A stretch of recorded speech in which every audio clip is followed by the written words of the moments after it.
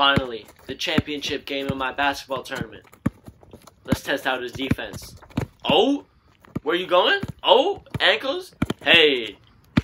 Alright, time to try my special move. What? He blocked it?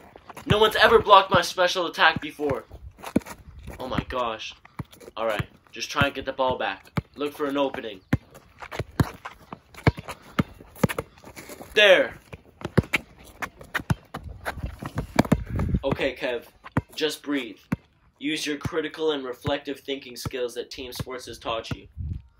He's a big guy, so he was able to block my shot. But if I use my agility, I should be able to get around him.